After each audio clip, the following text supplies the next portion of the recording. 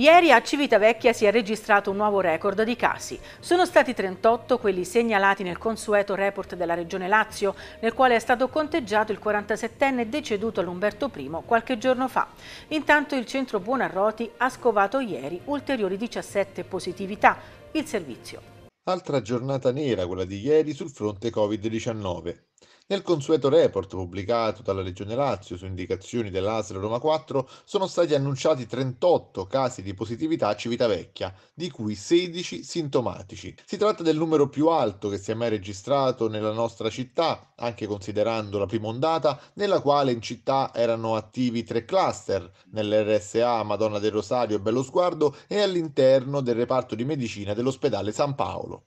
Ai tanti casi si è aggiunto ieri un decesso, di cui avevamo già parlato. Si tratta del 47enne civitavecchiese deceduto all'ospedale Umberto I dove era ricoverato da due settimane per aver contratto il coronavirus.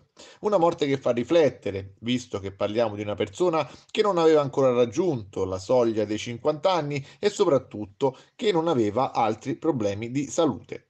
Intanto, nella giornata di ieri sono stati eseguiti al centro diagnostico Buonarroti altri 227 tamponi rapidi per rilevare la presenza del virus Covid-19. Sono state riscontrate 210 negatività e 17 positività che dovranno essere confermate con il test molecolare. Il totale delle positività nella giornata di ieri è pari al 7,49%, in calo rispetto al dato del giorno precedente dell'8,19%.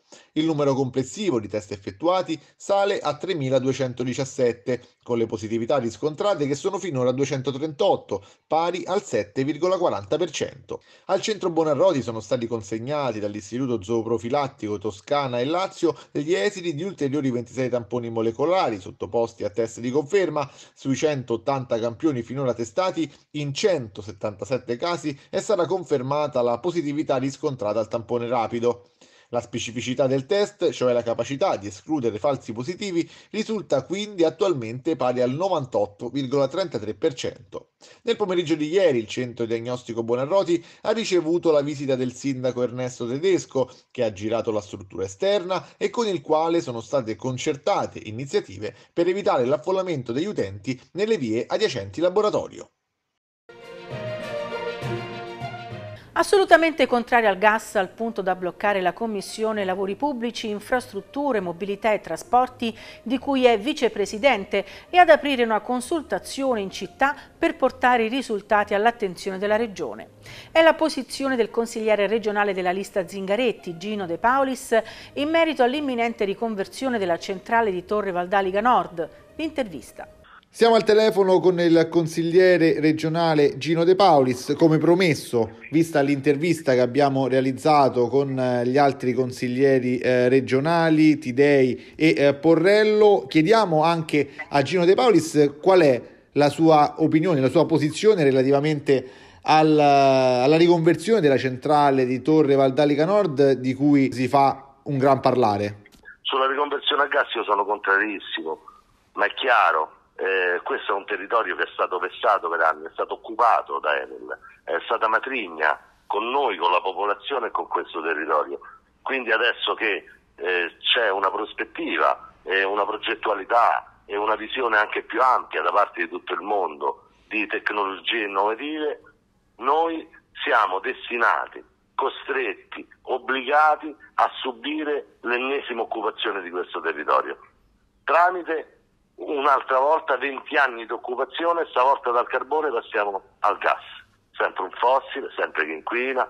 A noi non c'è concesso prendere fiato, noi siamo esclusi da qualsiasi cosa positiva, da, addirittura da una progettualità mondiale, addirittura questa volta non c'è neanche il ricatto occupazionale o perlomeno una prospettiva occupazionale, perché il gas da pochissimi posti di lavoro, è solo guadagno per Enel deve consumare il gas che Eni ha acquistato negli anni, deve fare questa centrale a Civitavecchia oltre quella di Montarto di Castro, perché anche Montarto sta per essere riconvertito, e questo territorio è all'oscuro di questa cosa. Tant'è che nella commissione preposta, della quale sono vice, eh, vicepresidente in regione, c'è in discussione il piano energetico regionale. Io potevo fare gli emendamenti di contrarietà sul gas, li farò, eh, li potevo presentare, li presenterò, lo posso fare in consiglio e lo farò, ma sarebbe stato inutile, sarebbe stato poco. Quindi ho scelto di non partecipare a questa riunione, non partecipando non gli do il numero legale, finché io non so lo stato dell'arte, lo stato dell'arte delle concessioni che sta chiedendo Enel a livello nazionale. Fatto richiesta ufficiale di questa cosa, a che punto stanno con le concessioni?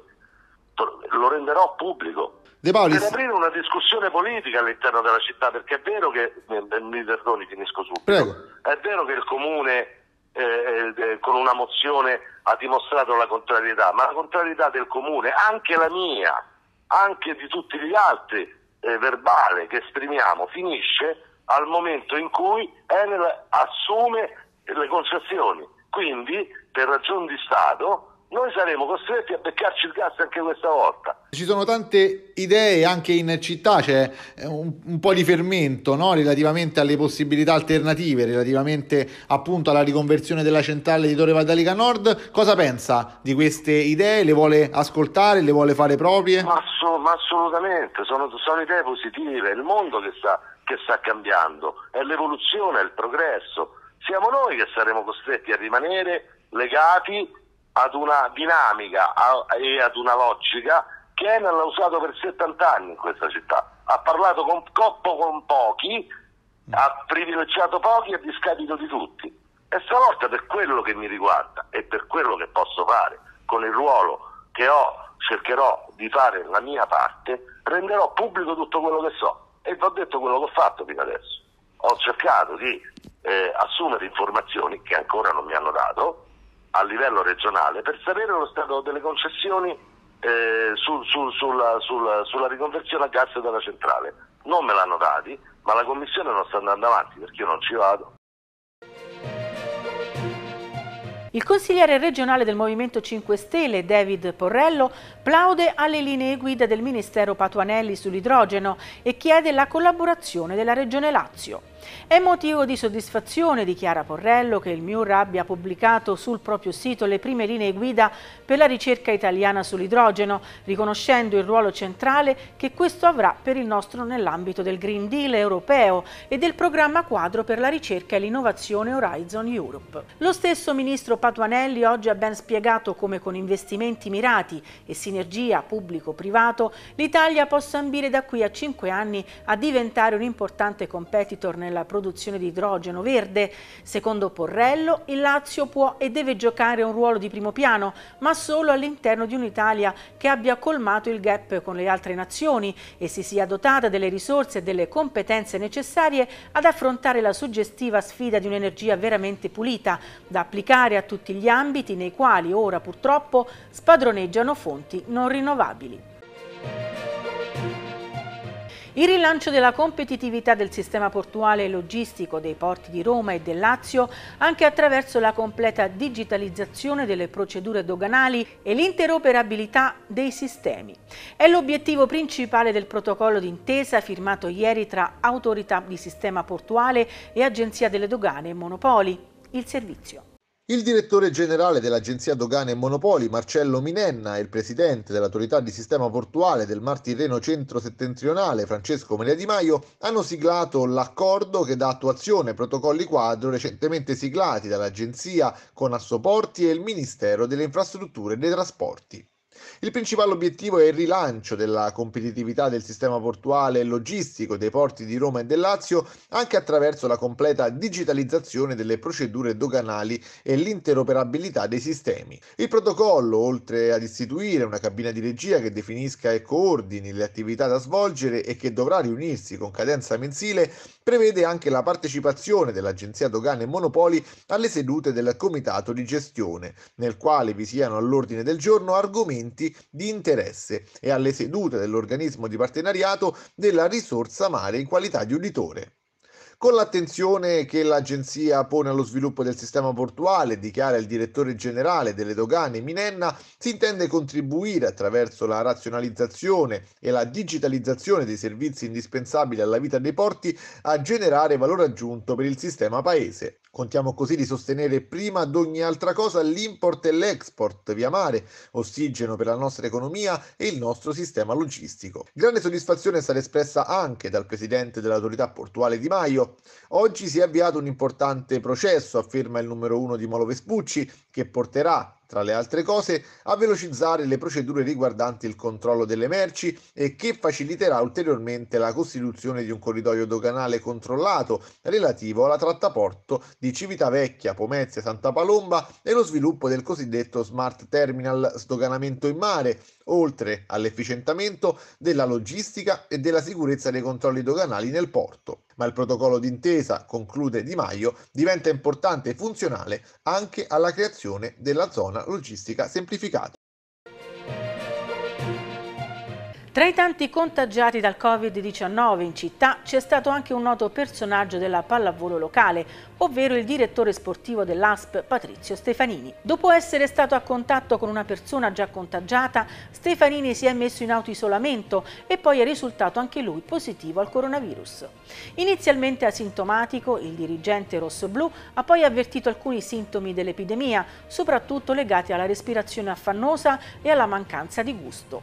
Nei giorni scorsi le condizioni di Stefanini si sono normalizzate fino al responso negativo del tampone. Con Patrizio Stefanini oggi non parliamo molto di pallavolo, ma parliamo di un'esperienza purtroppo non simpatica che gli è avvenuta perché eh, Patrizio è rimasto contagiato dal Covid, per fortuna adesso è guarito da, da qualche giorno. Ci racconti di questa esperienza che c'è stata per te? Allora, ciao Giovanni, eh, sì, diciamo che sono stato uno dei contagiati a Civitavecchia e è stata un'esperienza comunque abbastanza forte anche se dal punto di vista della malattia non ho avuto grossissimi sintomi. Eh, all'inizio giusto un po' d'ansia dettata anche dal periodo diciamo. Eh, però levati quei lievi sintomi che comunque eh, porta la malattia come la perdita del gusto la perdita dell'olfatto qualche lieve, chiamiamolo lieve proprio, problema respiratorio, diciamo così, un affanno abbastanza insistente i primi giorni, però nulla di preoccupante, neanche febbre. Però diciamo che comunque quando ci passi eh, il cervello viaggia e quindi di pensieri te ne fai. Però fortunatamente è andata bene, quindi va bene così non è stato assolutamente un periodo, diciamo così, tranquillo per te. Eh, ovviamente sei stato a casa per tanti giorni, 12 giorni dura la tua quarantena praticamente, eh, quindi diciamo così, è una situazione eh, non semplice da, da, affrontare. No, guarda, il discorso è un po' come tutte le cose, no? Fino a quando non ci passi, poi non ti rendi bene conto, anche se, ripeto, il decorso del, del periodo, nel, durante questo periodo è stato tutto abbastanza tranquillo, sotto controllo. E quando ti dico che il cervello viaggia comunque ti fai tanti problemi anche per i tuoi cari, i tuoi familiari, speri che comunque eh, di averli protetti, diciamo, anche perché come la maggior parte delle persone non, non ti accorgi di essere, di essere, positivo, infatti io fino a, al tampone di controllo ero totalmente asintomatico, i sintomi si sono poi manifestati in seguito, e, però anche perché credo che la maggior parte della gente, come ti dicevo, probabilmente si contagia proprio quando abbassa la guardia, ad esempio in casa, perché comunque fuori tutti eh, adottano, o la maggior parte almeno, adottano tutte le restrizioni del caso poi è quando si abbassa la guardia che magari te lo becchi, ecco, diciamo così. Il nuovo esordio della Flavioni nel campionato di Serie A2 potrebbe avvenire prima di Natale. Questa è la decisione presa dalla FIG dopo il rinvio delle prime tre giornate a causa dell'emergenza Covid-19. Il primo impegno per la squadra di coach Patrizio Pacifico è stato fissato per il 13 dicembre, sempre in trasferta, non più a Conversano come previsto inizialmente, ma a Pontinia. E da Conversano le giallo-blu ci andranno la settimana successiva, con un inizio senza gare casalinghe. Per le L'esordio al Palasport in Solera Tamagnini bisognerà aspettare fino al 17 gennaio per il match contro la Retusa. Ovviamente anche il nuovo calendario è suscettibile di variazioni a causa dei problemi legati al coronavirus. Continuate a seguirci sui nostri profili social alla pagina TRC Giornale e sul nostro sito www.trcgiornale.it.